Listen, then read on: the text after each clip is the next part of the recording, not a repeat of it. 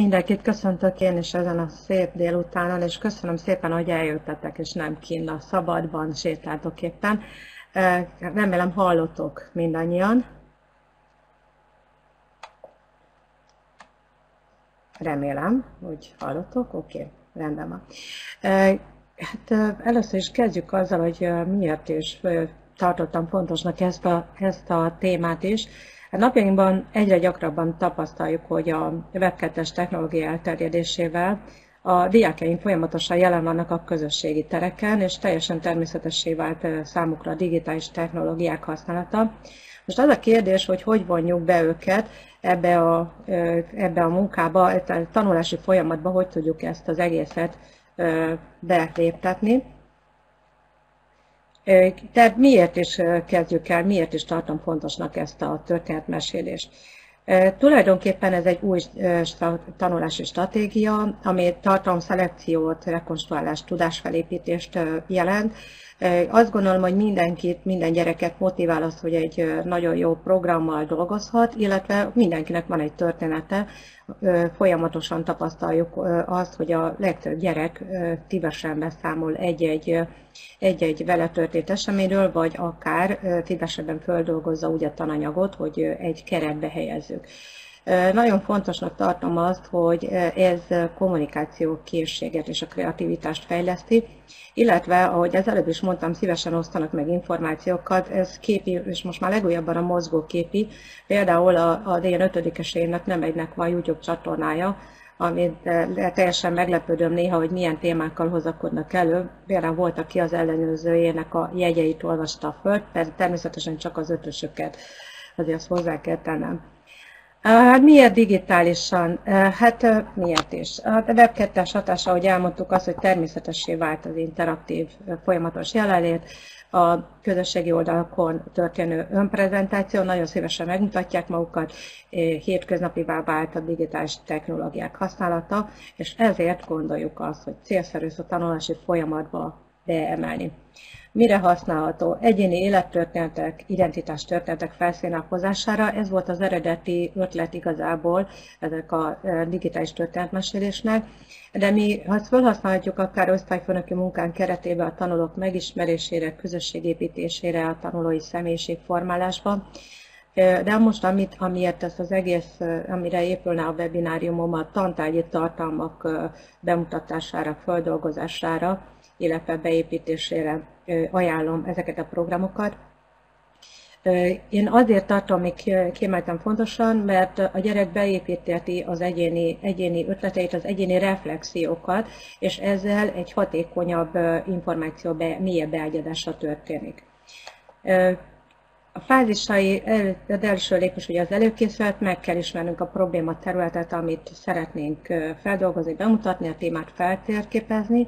Rengeteg eszköz van, én is most gyakorlatban sokat fogok nektek bemutatni, és a legmegfelelőbbet célszerű kiválasztani. És a következő fázis pedig az, hogy megtervezzék a munkát, saját megoldási útvonalakat alakítsanak ki. A második rész az alkotás, a szövegek, képek felvitele, felvétele, és külön, külön kitér, ki kell térni a gyerekeknek elmagyarázni, hogy mik is azok a szerzői jogok, ugyanis nagyon sok gyerek azt gondolja, hogy ami az interneten van, az, az szabad, az mindenki használhatja, azért van az interneten, holott korán sem így van. Nagyon sok programba be van építve az, hogy csak jogtiszta képeket tudunk, vagy zenéket tudunk beállítani, ez is előnye ezeknek a programokban. Következő lépés, ugye, hogyha begyűjtöttük a szövegeket, képeket, a szerkesztés, esetleg vágás, zenék hozzáadása, illetve fontos az, hogy a, az egyéni alkotási folyamatban folyamatosan kapcsolatba állnak a tanulótársakkal és a pedagógusokkal, és ez is színesíti a munkát. És a, a lényeg a bemutatás, nagyon fontos az, hogy bemutassák egymásnak az elkészült történeteket, megbeszélik a folyamatot és véleményezik egymás munkáit, és hát a végeredmény az általában az interneten és interneten publikálva lesz, akár film, akár pedig akár képregény formájában is. Összefoglalva a digitális történetmesélés, tanulásszervezési eljárás e, tulajdonképpen önálló munka és és vagy kooperatív munkakeveréke lehet teljesen önállóan dolgozni, tehát az elejétől a végéig végig dolgozhatja a gyereke, de célszerű csoportokban dolgozni az, hogy megtanulják a, a egymással való munkát. A kutatás és alkotási fázis tulajdonképpen tehát egyéni munkát, egy időtervet, illetve ütemezést előfeltételez, ezt, kell, ezt a gyereknek kell egyedül végig, végigvinni, illetve, ahogy mondtam, az osztálytermi interakciók azok a kooperatív tevékenységekből származnak. Az eredménye miért is jó ezt ezt az eszközt használni. A tanulók önálló, önállóak lesznek, hatékony és önálló tanulási stratégiát építenek ki, akár hogyha egy témát földolgoztak, utána kedvet kapnak egy-egy újabb téma megjelenítésére ezekre az eszközökre, fejlődnek a, a közös munkánál a szociális készségeik, és egy nagyon-nagyon fontos dolog, ez ugye a, az utóbbi években nagy visszhangzott a, a média, hogy a PISA mérésekben nagyon, nagyon alul maradunk, bizony a probléma megoldó képesség a gyerekeknek egy kicsit fejlesztésre szorult, tehát azért célszerű például használni az eszközeinket, illetve az IKT eszközök használatának egész magas készségszintű használata is kialakulhat. Nem egyszer előfordul, hogy a, a gyerek jobban kezeli az adott eszközt, mint a pedagógus, és ettől nem kell megírni, ezt el kell fogadni, neki több ideje van rá. Na nézzünk gyakorlatban néhány példát. Próbáltam összeszedni kicsiktől az egészen nagyokig. A legkisebbeknek a Lapodemese nevű programot ajánlanám. Itt igazából ez egy picit szűkített változat, ami letölthető az internetről, már nem is fejlesztik tovább, de szerintem nagyon jó használható és egész egyszerűen letölthető. És ami a lényeg az, hogy magyar nyelvű, tehát a legkisebbek is bátran dolgozhatnak vele. Saját történet bemutatására, irodalmi művek illusztrációjára alkalmas. Én az ötödikesekkel szoktam, mikor bevezettem a multimédia témakört használni, mégpedig akkor tanulják a János Vitézt, tehát a János Vitézhez készítenek nagyon jó kis animációkkal.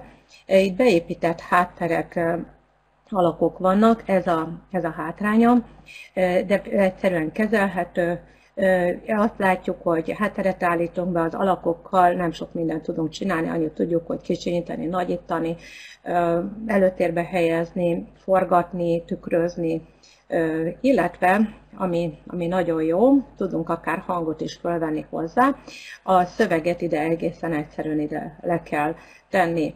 Az alsó üres mezőbe, ide be lehet másolni bármilyen hosszúságú szöveget, és föl lehet venni, és tulajdonképpen ilyen diafilmszerű eszközt fogunk kapni, és itt látható a link. Tehát az előnye az, hogy nagyon könnyen kezelhető, a hátránya az, hogy, hogy egy korlátozott eszközkészlettel rendelkezik, de a gyerekek nagyon jól megoldották. Hát például nem volt birka, lyuk nem volt benne, és akkor megoldották úgy, hogy rátettek egy kutyára egy felhőt, és hát még hasonlított is a birkára.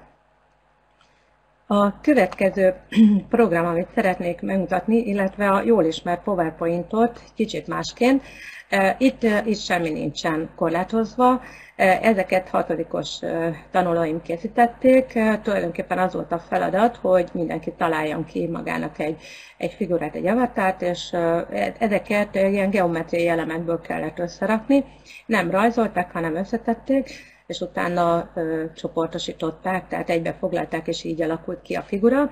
Ez azért érdekes, meg azért jó, mert ugye úgy tudják mozdulatokat is tudnak vele képezni, tehát arrébb helyezni, tehát akár ilyen rajzszín formájában meg tudják, meg tudják jeleníteni. Az új, az új ö, PowerPoint-ba már, már a képek keresésénél is be lehet állítani, hogy csak jó tiszta tartalmat tudjunk, tudjunk beéleszteni. Ezek, az elkészült művet, az elkészült bemutatót lehet ugye az animáció vagy áttűnés segítségével lehet mozgatni, de hogyha ebből szeretnénk készíteni, mindjárt megmutatom, hogy hogy lehet filmet készíteni. Ide föltettem egy, egy nagyon jó, egy, egy azt hiszem, hogy szlovák kolléganő, vagy cseh kolléganőnek a, a Hogyan készítsünk Avatar című uh, bemutatóját, érdemes lesz majd megnézni. Hogyan készítsünk PowerPointot filmet? Hát erre elég sok eszközünk van, ezek kettő, kettő közülük könnyen letölthető, ingyenes beépülő modul, amit az egyik a Community Clips, a másik pedig az Office Mix. Mind a kettőt jó szívvel ajánlom, én nagyon szeretem mind a kettőt. Mind a kettő alkalmas arra is, hogy a PowerPointon kívüli, tehát a programon kívüli képernyőképet is rögzítsünk. Egyszerű a használata, nincs időkorlát, mint a mindjárt bemutatok néhány olyan online filmkészítő vagy filmrögzítő, képernyőrögzítő programot, itt nincsen semmilyen határ. Nagyon-nagyon egyszerű a használata, elindítjuk a felvételt, és leállítjuk a felvételt, és akár tárcáról is indítható, ahogy említettem az előbb, képernyőképet is tudunk külön rögzíteni. Az Office Mix ezen túl megy, az is egy beépülő modul a PowerPointunkban, az itt elkészített képernyőképek szintén külön elmenthetőek MP4-es formátumban, és ami, amivel még, tehát magából a PowerPoint-ból is tudja, a bemutatómból is készíthetünk filmet, lehet hozzá, hozzá hangot rögzíteni, lehet hozzá megjegyzéseket fűzni, és ami még érdekes itt, hogy akár quiz kérdéseket is betehetünk magába a programba, menet közben, rögzítés közben. Én nagyon szeretem a, a kollaborációt, nagyon szeretem, amikor együtt dolgoznak a gyerekek, ők is szeretik, és erre a Google diákot, a Google Drive-nak a diák nevű ö, ö, alkalmazását szoktuk használni.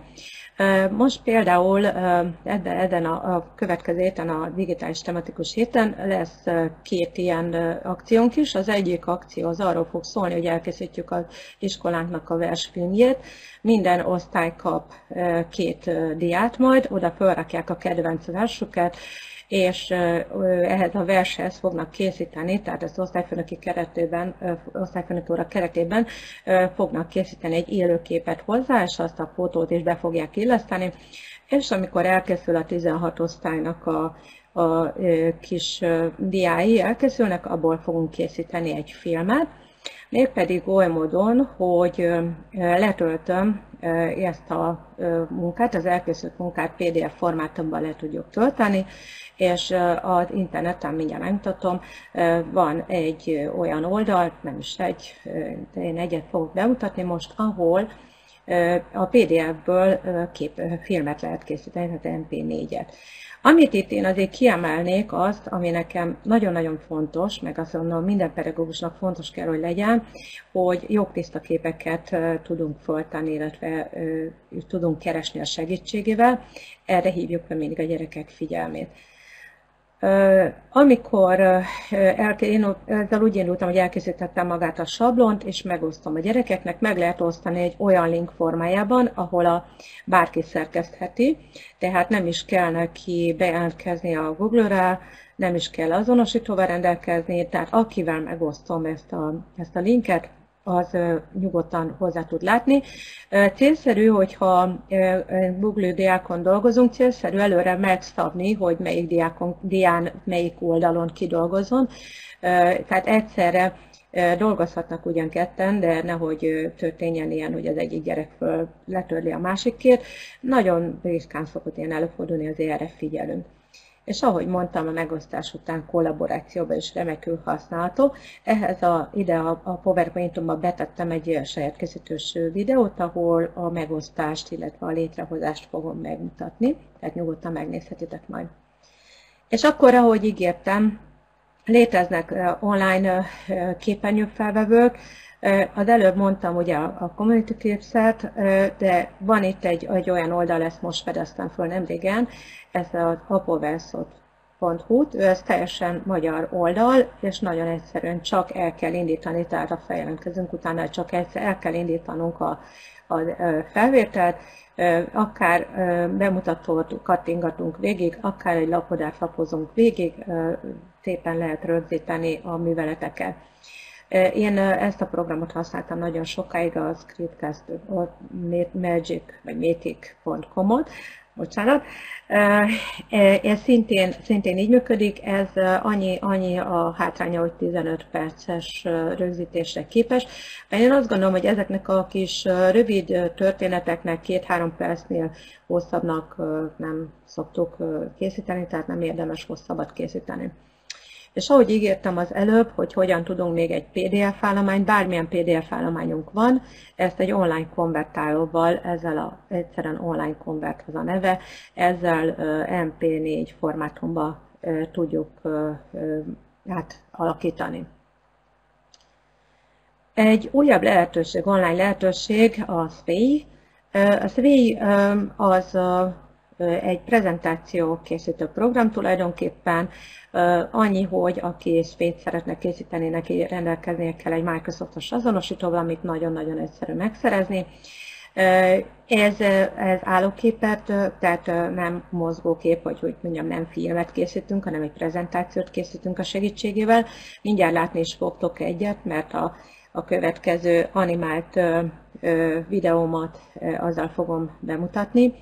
Ez, és ennek a programnak a nagy előnye az, hogy nagyon gyorsan és egyszerűen létrehozható benne egy-egy képkártya, illetve egy-egy oldal, interaktív tartalom beilleszthető, illetve itt is fontos az, hogy jogtiszta képeket jelenítünk meg, illetve keres meg nekünk. Olyannyira intelligens a keresés, hogy amikor elkezdünk írni egy szöveget benne, akkor automatikusan a keresőbe megjelennek azok a szavak, és felajánl videókat, képeket, akár szövegeket is hozzá.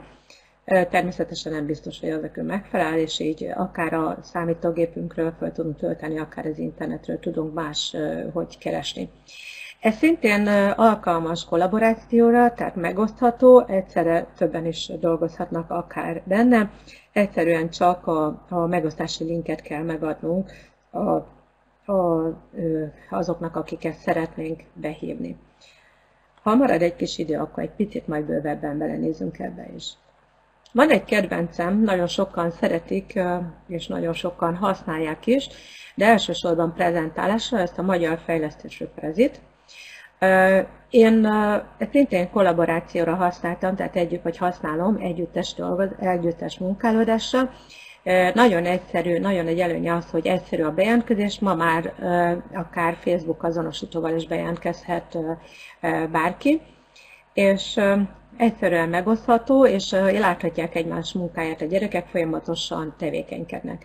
Én úgy dolgoztam vele, hogy felraktam előre a kereteket, útvonalakat szabtam, tananyagot dolgoztunk fel, például az erdő madarait, vagy a, az erdő élőlényeit, és megbeszéltem a gyerekekkel, hogy mikor lehet bejelentkezni, tudták a linkre, egyszerűen csak fölmentek a megosztási linkre, és egyszerre többen dolgoztak, és beszélgettek is közben. Nagyon helyes ilyen kis, régebben ez a, ez a pár éve még ilyen kis figurák voltak, most már ilyen kis számítógépek jelennek meg, hogyha ha bejelentkezik a gyerek, és figyeltem a munkájukat, nagyon helyesen voltak, megbeszélték a, akár még itt mellette a napi történéseket is, sőt olyan is volt, hogy valaki átküldte, ezen én nagyon meglepődtem, a gyerekek mindig tudnak újat mondani nekem, átküldte például az egyik gyerek nem volt ott a, a suliba, lefotózták a, a jegyzetet valamelyik tantárgyból, és szépen átküldte így prezén keresztszót, megjelent föltöltötte magyarul, a másik gyerek meg le tudta onnan tölteni. Időközben, miközben meg feldolgoztak egy tananyagot, a közben meg is beszélték a, a problémákat is, tehát folyamatos beszélgetés folyt. A javaslom tehát az, hogy például, hogyha prezével dolgozunk, célszerű feltenni előre a kereteket, útvonalakat megszabni. Ez ez igazából, mivel hogy animálható, szintén látványos, tehát itt, itt nem tudom mennyire ismertek a prezit, ez egy olyan program, hogy akár ilyen, ilyen 3D-szerűnek is tűnhet, mert bele tudunk menni, bele tudunk írni egyre kisebbre, vagy nagy, nagyobbra állítva a, az oldalunkat, bele tudunk írni a szavakba, a betűkbe, bele tudunk helyezni képeket, tehát olyan, mintha tulajdonképpen bemennénk a képernyőbe. És akkor eljutottam az egyik új kedvencemhez, ez a Pauton. Ez egy, merem állítani, hogy a professzionális alkalmazás, animációk, videók készítésére kiválóan alkalmas. Nagyon egyszerű a bejelentkezésre, szintén csak vagy Google azonosító, vagy például Facebook azonosítóba is be lehet lépni. A előbb említett PowerPoint-tal ellentétben itt annyi, annyi a hátránya, hogy itt előre meg le, beállított sablonokkal, figurákkal találkozunk, de azért van lehetőség egyénivé tenni. Beépített animációk segítik a munkánkat, létezik a ingyenes, illetve fizetős verzió, természetesen a fizetős verzió azért az jóval többet tud. És akkor megpróbálom most elindítani azt a, nem tudom, hogy látjátok-e, a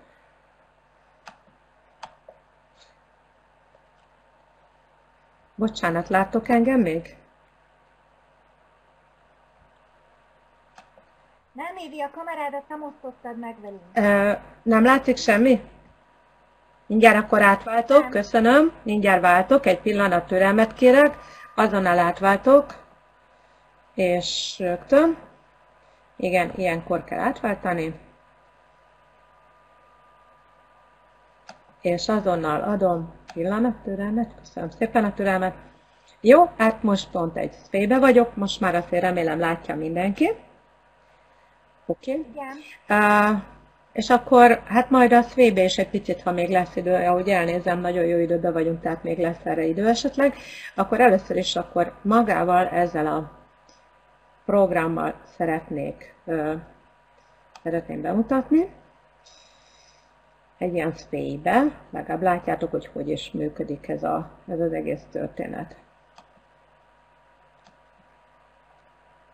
Tehát, ahogy az előbb elmondtam, nagyon egyszerű a bejelentkezés, a belépés, vagy egy Google azonosítóval, vagy egy Facebook, ugye ez nálunk az elterjedtebb. Ez a következő lépésnél le, hogyha éppen az embernek nincsen még kész, nekem itt már van több kész művem is, akkor ugye a, rögtön a készítés, új projekt készítése. Hm, azt elfelejtettem mondani, hogy angol nyelvű, de azt gondolom, hogy azért elég egyszerűen megérthető. A saját új videók készítésénél választhatunk azt, hogy egy üres oldalról indítunk, vagy pedig sablonból választunk. A sablonokban rengeteg háttér, rengeteg alakzat, rengeteg karakterfigura található. Létezik benne fizetős, illetve ingyenes is. Az első lépés az, hogy elkészítjük a szerkezetet, egy alapszerkezetet, amikor itt is, ugye, itt is lapokból áll a munka, következő lépésnél kiválaszthatunk, a, kiválaszthatunk stílusokat, itt a professzionálistól elkezdve a fehér tábla, illetve tábla nézet, akkor infografika például, tehát nagyon sok lehetőségünk van, kiválasztjuk az igényekhez, a bemutatandó tájhoz legjobban alkalmazkodó sablont. Következő lépés az, hogyha én például most üres lappal kezdtem, hogy kiválasztom, exportálom azt, hogy milyen képeket szeretnék beilleszteni. Itt láthatóak fönn, hát néhányon, néhányon látszik az, hogy ingyenes, például ez a sablon ingyenes, de van olyan, amelyik fizetős, és mindegyiknél különböző figurákat, különböző alakzatokat választhatok. Az oldalsó menüben, tehát hogyha kiválasztottam egy stílust, most eh, én az Office-t választottam, eh, az oldalsó menüben eh, kezdhetjük az elrendezésekkel, az elrendezések hasonlóan, talán a PowerPoint-hoz hasonló elrendezésekről, tehát arra utalhatok. Aztán a elrendezések után kiválaszthatjuk azt, hogy milyen hátteret illeszünk be. Kiválaszthatjuk azt, hogy milyen szövegünk legyen. Itt vannak, ahogy elmondtam, itt előre beépített sablonok vannak, szövegbuborékoktól kezdve különböző formátumig. Itt egészen extra, ilyen majdnem mondhatnám, ilyen reklám stílusú szövegek, szöveg stílusokat is ki tudunk választani. Hm. Jó, tovább A A következő könyvtárból tudunk kiválasztani képeket, ábrákat, itt adott karaktereket, illetve alakzatokat és tárgyakat is tudunk kiválasztani, és ami érdekes, hogy az minden alakzatnak van, vannak különböző animációs lehetőségei, amelyiket kiválasztunk, ő mozogni is fog a képünkön, Na, mindjárt be is mutatok egy kész művet. Következő külön szövegbuborékokat, síkidomokat tudunk kiválasztani, amivel színesíthetjük az ábráinkat.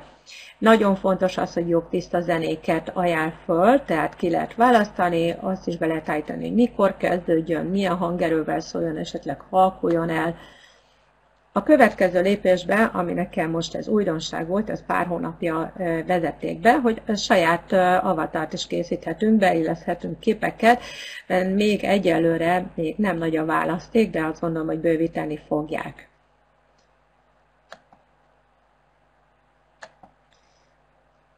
És itt van az időcsúszka, amit az előbb is említettem, beállíthatjuk az időcsúszkán, hogy mikor jöjjenek be a zenék, mikor jöjjenek be a képek, szövegek, mikor kezdődjön, mikor jelenjen meg, meddig tartson a beillesztett zenének, vagy, vagy a, akár a mozgó szövegnek a megjelenése.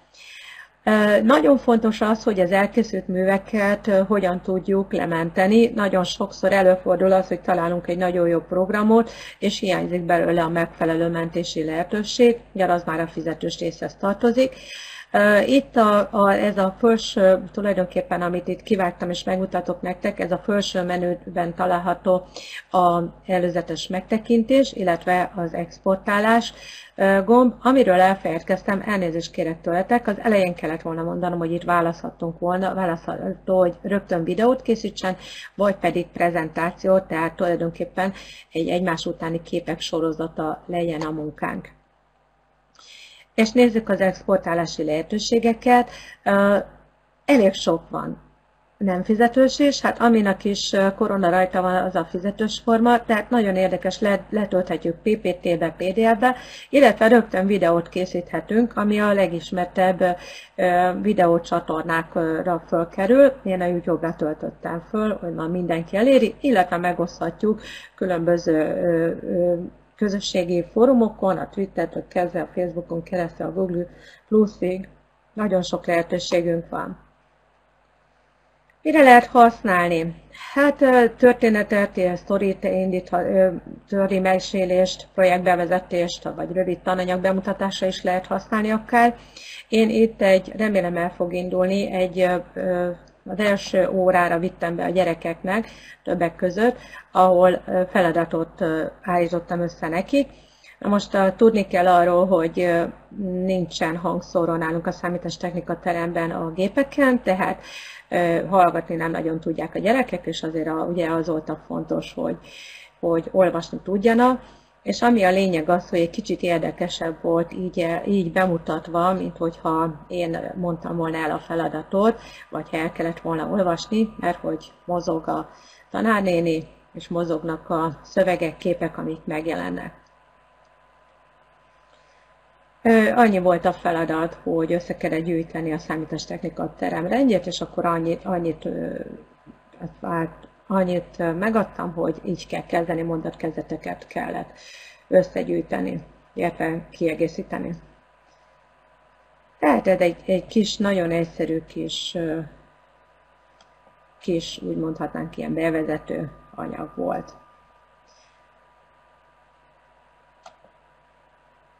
Bocsánat, most visszatérek a prezentációhoz.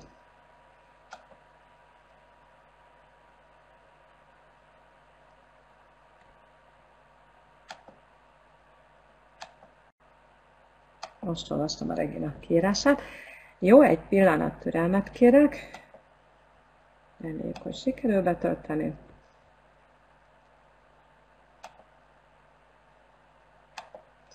Igen. Jó, tehát én azt gondolom, hogy ez az alkalmazás nagyon jó használható, annak ellenére, hogy nagyon sok része fizetős, nagyon jó szívvel ajánlom, akár feldolgozásra, akár tananyag feldolgozásra, akár pedig ilyen feladatkiosztásra, ahogy én, én mutattam. Találtam egy nagyon jó pofar kis programocskát, Igen, látunk, Köszönöm hallunk, szépen, minden köszönöm. van. Jó, tehát találtam egy nagyon jó pofakés online programot. Egy része egyébként tehát fizetős ez is, de nagy része is jól, jól, nagyon jól használható, és nagyon-nagyon sok mindenre használható, nagyon sok tantárgyból. Fel is tettem ide a, a linket, de mindjárt megmutatom majd gyakorlatban is, hogy mi mindenre lehet használni. Ezzel képregényt lehet készíteni tulajdonképpen. Nagyon nagy a, a tárháza a háttereknek, a figuráknak. A figuráknak, figurákat különböző korokban lehet helyezni, tehát különböző öltözékkel rendelkeznek lehet ugye lehet szövegbuborékot tenni, szöveget írni alá, illetve mellé is, tehát folyamatos kis képregényt lehet belőle összeállítani. Ami nekem különlegesen tetszett az, hogy például lehetett a háttérnél beállítani, hogy milyen legyen az időjárás, hó essen, vagy és essen, vagy süssön a nap, éjszaka vagy nappal legyen. Illetve például az avatároknak, a kis figuráknak a hajszínét, a bőrszínét, a, a, a szemszínét lehetett változt, lehet beállítani, tehát viszonylag egyedire lehet szabni. Tehát különleges beállításokkal találkoztunk, nagyon sok mindenre használható, ahogy mondtam, a karaktereket formázhatjuk ugyanúgy, és saját képet is lehet föltölteni. A mentés az történhet PPT-be, tehát PowerPoint-ba, vagy PDF-be is akár, és végül is filmet is készíthetünk erről. Rengeteg megosztási lehetőség van beállítva, itt látjátok alul, akár nyomtatni is lehet az elkészült munkát, akár pedig le lehet tölteni képként, PowerPoint-ként, illetve be lehet ágyazni is egy weblappa például. Nézzünk akkor bele ebbe a programba is. Bocsánat, akkor most itt visszalépek.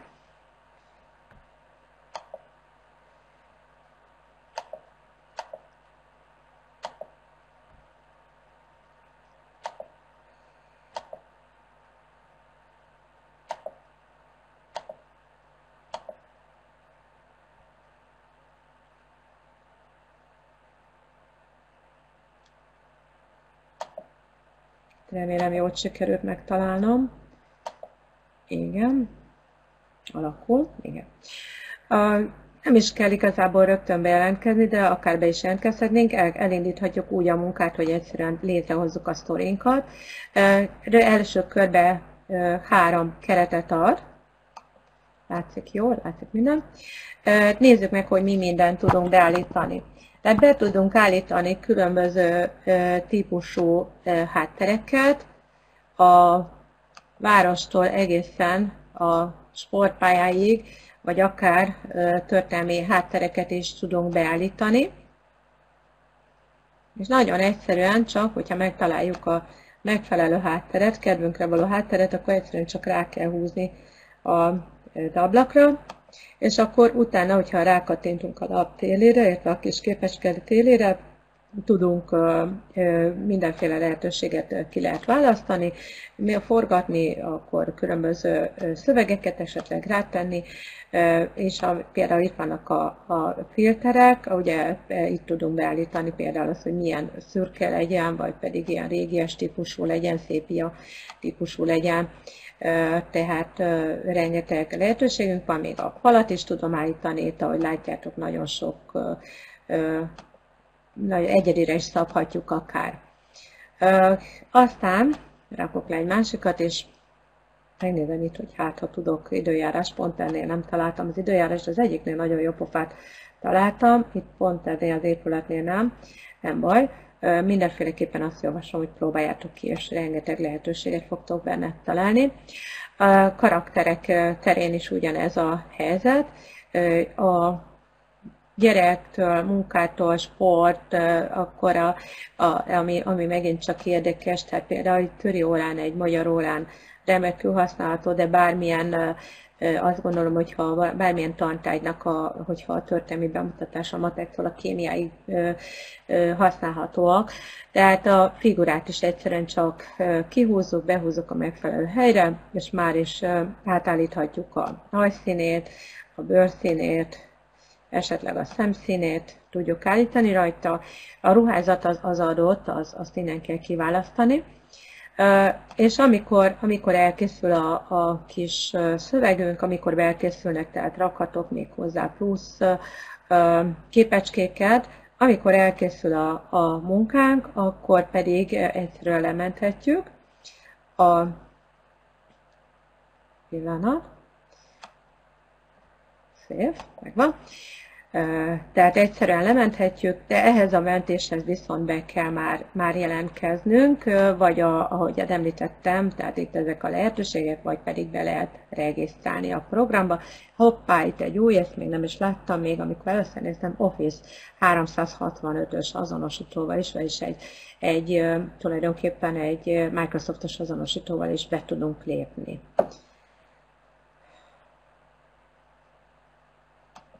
Nem tudom, ezzel kapcsolatban kérdezette valaki. Bocsánat, hogy közben. Oké. Okay. Jó. Uh, Érdemes meg kipróbálni egyébként a programot, mert, mert rengeteg lehetőség van, tehát látjátok, szövegbuborékot tudok betenni hozzá, és különböző stílusokkal, stílusokat. El tudom képzelni például egy, egy képregényben elkészíteni egy, egy akár új tananyag bevezetés, de akár egy összefoglaló órán a gyerekek készíthetnek olyan feladatot, olyan képregényt, ahol kikérdezik egymástól a tananyagot, például akármelyik tantárgyból, akár természetesmértből, akár matematikából, arról nem is beszél, hogy a humán tantárgyaknál kiválóan alkalmazható ez a, azt gondolom ez a, a program. És megint átváltok a PowerPoint-ra, ilyenkor elnézést kérek, ilyenkor elmegy a képernyő, de most mindjárt visszaváltom. Remélem, hogy rendben lesz.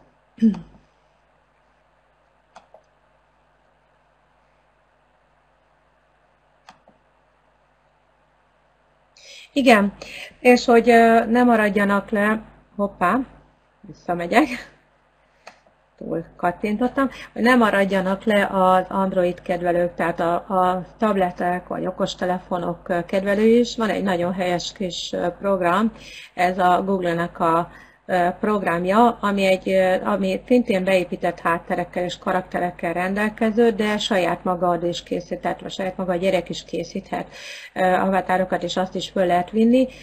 Ami, ami az újdonság, ami a különlegesség, hogy a karaktereket már három dimenzióban jeleníti meg, magyarul térhatásúvá válik, és mozgathatóak. Nagyon egyszerű a felvétel, kiválasztjuk a jelent szereplőit, mozgatjuk, és felveszünk a hangot, és már is menthetők rövid kis filmek formájában. Ezek, ezt természetesen ezt nem tudom bemutatni, mert ezt, ez csak Androidon, tehát csak tableten működik.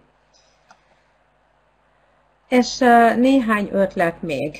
Bármelyik tantályban lehet egy bevezető óra, vagy új ismeret köző óra, erre, erre nagyon jó kis animációkat lehet készíteni. Itt láttok itt a sarokban például, ez matekból találtam, ez nagyon-nagyon tetszett nekem. A, föl is linkeltem ide, de egy Facebookon találtam ezt a ezt a kis filmecskét, animációt, ami azt mutatja be egy kis egyszerű figurával a különböző függvényeknek, hogy néznek ki, tehát a függvényábrázolás mutatja be. Érdemes megnézni, nagyon helyes. Új ismeretek tananyagok bemutatására, tehát mint pedagógus használom folyamatleírásával, illetve a feladat meghatározásnál, és itt kiemeltem, én nem jöttem, írtam felkiáltója a szöveges feladatok, ezek mindig, mindig nehezen mennek a gyerekeknek, tehát sokkal érdekesebb, hogyha úgy adjuk elő, hogy egy kis animációt teszünk hozzá, tehát meg is jelenítjük a feladatot, aztán használhatjuk összefoglalásra, ide például én a képregényt, képregény megoldásokat javasolnám, a szereplők a témakörben tanult információkat, szabályokat, fogalmakat, ki, megtanítják, illetve kikérdezhetik egymástól, tehát például erre is kiválóan alkalmas. Én azt gondolom, hogy ezek a programok, amiket én bemutattam most nektek, ezek hát egyrészt ismertek is voltak, de egy más oldaláról próbáltam megvilágítani. Nagyon jó használható a tanulási folyamatban. Igazából fontos az, hogy egy ilyen komplex tanítási, tanulási eljárást vonjunk be a gyerekeknek, ugyanis nagyon fontos az, hogy a kreativitásokat fejlesztjük, illetve a, a kollaborációra való kész, készséget, tehát az együtt, munká, együtt dolgozás. Arról nem is beszél, hogy a gyerekek nagyon-nagyon szeretik megosztani az interneten, illetve bármilyen más fórumon a, a tapasztalataikat, a, az apró kis történeteiket, és ezt színesíti, ezt a munkát színesíthetik ezek az eszközök. Én megmondom őszintén, én ennyit, ennyit gondoltam, hogyha gondoljátok, akkor valamelyik programról még egy kicsit bővebben, vagy pedig nyugodtan kérdezhettek, hogyha ha úgy gondoljátok.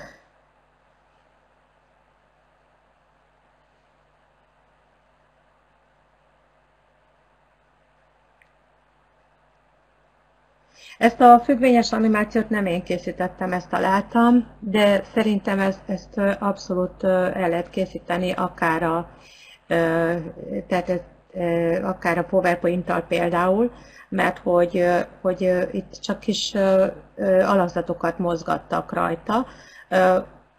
Föltesztem, a, majd mindjárt megmutatom a, a blogomra, feltettem ezt a linket, és ezen meg lehet majd nézni, ezen, és ezen, ezen a, rajta van a linkje is konkrétan ennek a kis figurának. Nagyon jó pofa ez a kis animáció is. Igen, azt gondolom, hogy, én, hogy ezek a programok ezek tantárgy függetlenek, de én például ezt a, ezt a story feladat, tehát ezt nagyon el tudom képzelni bármelyiket, akár a képregény készítésre, akár pedig a, a, a akár pedig a filmkészítésre, bármelyiket.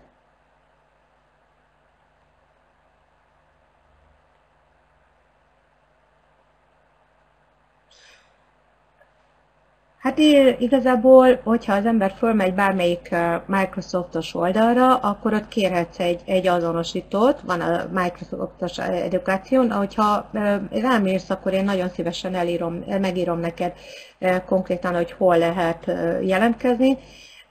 Nagyon sok van egy, van egy olyan oldala a Microsoftnak, az Educationnek, ahol, ahol nagyon sok angol, magyar, tehát bármilyen nyelvű óravázlatokat találhatsz, ötleteket találhatsz például, és ahhoz a, ahhoz a beregisztráció, ahhoz is szükséges a beregisztráció.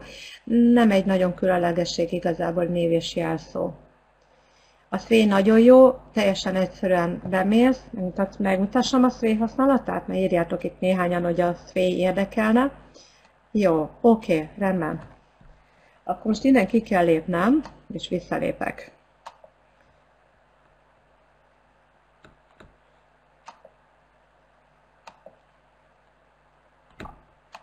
Egy kis türelmet rögtön,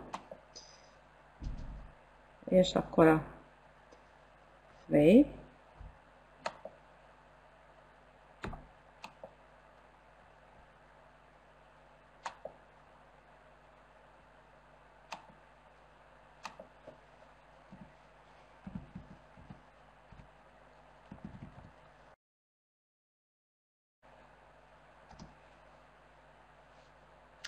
Nagyon jó kis videók is vannak hozzá, tulajdonképpen. Én már itt be is vagyok jelentkezve, és azt, azt látjuk itt. És akkor megmutatnám a használatát. Nekem a nyolcadikosok készítettek, itt van, aki meg is osztotta velem, azóta feladatuk, hogy egy-egy országot mutassanak be a Sway segítségével. Mutatok akkor egy, egy újat, hogy hogy is működik.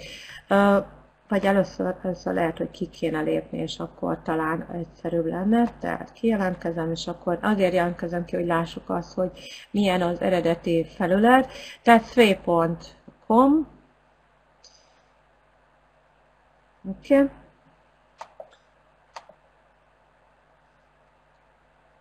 nincs még fiókja, regisztráljon ingyen. Amikor ezt létrehozzátok igazából, ez a regisztráció, meg is mutatom, ezzel tulajdonképpen egy Microsoftos azonosítót hozunk létre, és az, az a, nagyon sok lehetőséget biztosít számunkra. Ennyi kell csak, tulajdonképpen kell egy, egy, egy e-mail cím, ami nekem például a Gmail címem, megmondom őszintén, és kell egy jelszó hozzá, és utána pedig egyszerűen csak le, továbbra megyünk, és be is tudjuk rögtön regisztrálni. Én most visszamegyek, hogy megmutassam a szének a működését.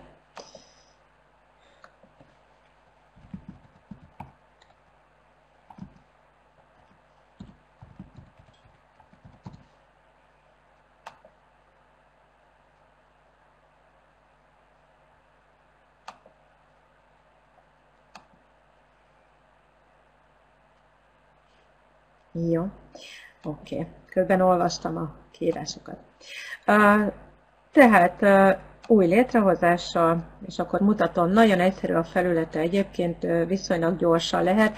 Igazából azért kevesebbet tud, mint egy asztali alkalmazás. Ilyen kis kártyákon, kártyákkal fogunk dolgozni a úgynevezett vágóasztalon amit látunk itt, hogy beszúrás menüből kereshetünk a forrásokból, illetve fölajánl már elő, eleve nekünk ablakokat.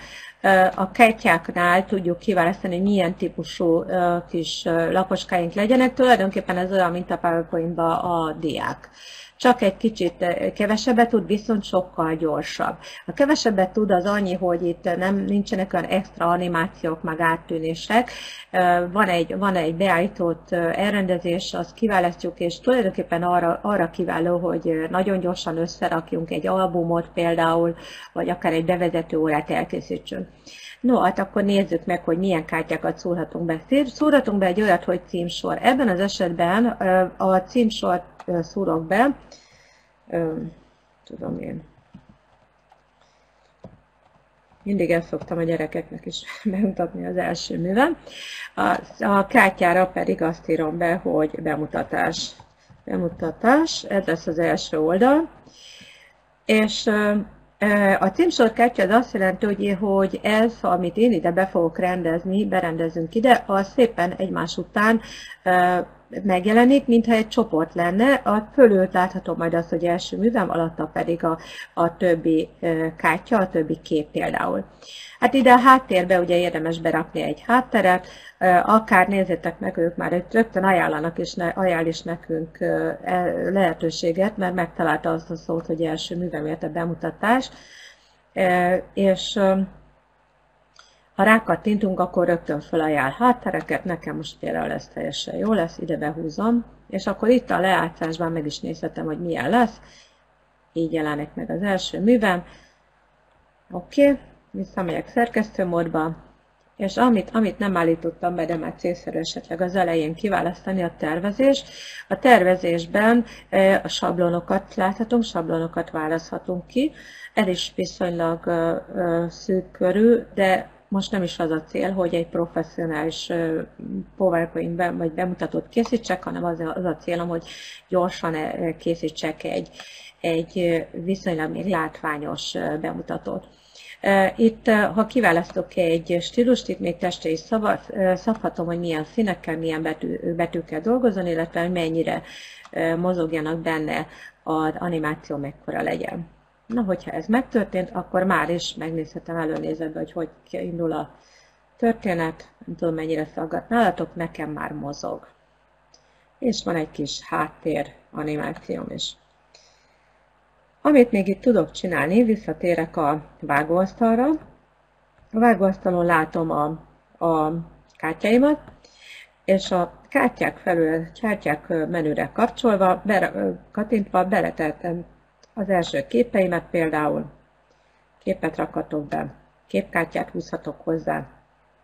Hú, bocsánat, oké. Okay. Frissítsem a böngészőt. Hát elnézést, a technika ördöge az, az egy picit most beleszólt, de úgy látom, hogy gyorsan elintézte. Akkor még egyszer kártyák, tudok hozzátenni képkártyát, videókártyát akár, hangkártyát, és így tovább. És amikor rákattintok például a háttérre, ide beteltek egy, egy újabb hátteret, hogyha úgy gondolom, a képkártyára berakatom a saját képeimet, mutatom is. Javaslatok, saját eszköz, föltölthetem a saját elkészült képeket, hát ezen a gépen nem biztos, hogy sok kép lesz, meg egy picit lassú most itt a kapcsolat miatt, Hát lehet, hogy nem is lesz sok kép, azért megnézzük, hát ha találok. Hát a minta, mintaképekbe találtam egy képecskét, mondjuk ő jó lesz az a koala. Tehát azt szerettem volna megmutatni, hogy saját képet is fel tudok tölteni. A formázás az kimerül abba, hogy a hangsúlyozás azt jelenti, hogy félkövéré teszi, tehát vastagítja, a K, a K az a döltét tehetünk rá hivatkozást is szóratunk be, nagyon jól működik, illetve fókuszpontokat állíthatunk be. A fókuszpont az azt jelenti, hogy azon az, azon az alapképen van-e egy dolog mondjuk fontosabb, ami kiemelkedő legyen, vagy például az egész kép fontos legyen. Jó, akkor ez is megtörtént. Megnézhetjük azt, hogy hogyan működik idáig. Igen, bemutatás. Most csak egy ilyen kis összedobott, azért nem átgondolt történetet. Jó. És a képem első művem lehet hozzá, az első művem azért itt fönt helyezkedik el, ahogy láttátok, mert címként adtam meg. Abban az esetben, hogyha én a szöveget szeretnék hozzáírni, akkor most ide rákattintok, azt mondom, hogy legyen ő egy szöveges, és akkor ide beírom, hogy ez a kedvenc állatom. Oké. Okay. Nézzük meg, hogy hogyan néz ki. Bemutatás. Első művem. És megjelent, ahogy mondtam nektek, hogy címsorként meghagyta, és az alá, az alá tette be. Abban az esetben, hogyha ezt szeretnénk, hogy együtt legyen, akkor, akkor ki kell kisebbre, egyes kisebbre is lehet tenni ezt a, ezt a képecskét. Ugye nem, nem mutattam meg nektek, hogy igen. Jó, és a szövegkártyát közvetlenül alá lehet tenni, illetve a probléma az az, azért rakta ide nekem föl, mert én háttérnek tettem be a első művem alá. Abban az esetben, hogyha például azt szeretném egymás mellett jelenjenek meg képecskék, akkor egy csoportot képzek, és a csoportokba fogom hozzátenni, és ebben az esetben a képek mellé is meg tudom jeleníteni a, magát a, a szöveget. Na, állatok, legyen valami állat, csak egy picit lassabban. Jó, jó képet. Oké. Okay. És itt tudom beállítani, tehát itt elnézést kérek, itt azért nem tudtam, mert ez háttérként van beállítva, ezt nem tudtam méretezni, viszont itt a képeknél azért annyit tudok csinálni, hogy három különböző méretben tudom beállítani, és képfeliratot is tudok betenni, azt mondja, ő lesz, azt mondja, szerintem ez egy gepárd, remélem, hogy nem csal a szemem. Lehet szöveget is hozzá felsorolásszerűen látjátok, hogy egy, egy listajeles, illetve egy számozott lista létrehozását tudjuk tenni. A H, ahogy említettem, az a kiemelés, az azt jelenti, hogy vastagítani fogja, a K pedig dönt, vagyis dölté fogja megjeleníteni. Hát nézzük meg, milyen lesz a munkám. Ezzel az el lehet bogarászni egy darabig, most csak gyorsan egy ilyen állatorvosi lószerű dolgot mutattam meg nektek első művel. Nézzétek meg, még mindig ott van címként fönt, és megjelent a kép mellett a szöveg. Viszonylag gyorsan el lehet eh, készíteni ezzel egy kis eh, bemutatóskát, és hát valamilyen szinten interaktív, tehát akár még eh, tulajdonképpen egy digitális történetmesélésre is alkalmas. Közben lehet, hogy elvesztem az ételben, mert nem találok semmit.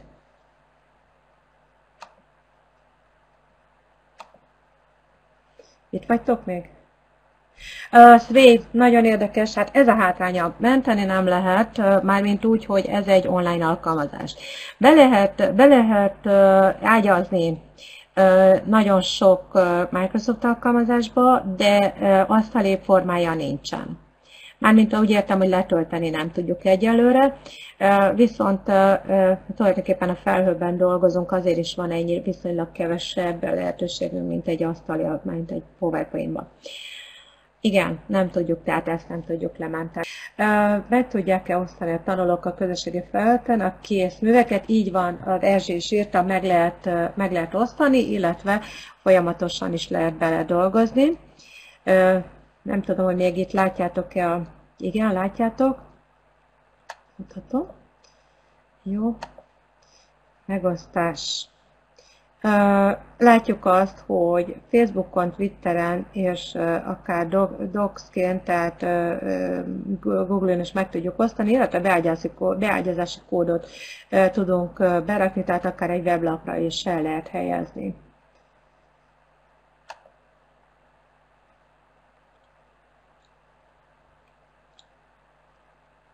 Nagyon szívesen. Van-e még esetleg valami kérdést, tudok-e valakinek segíteni?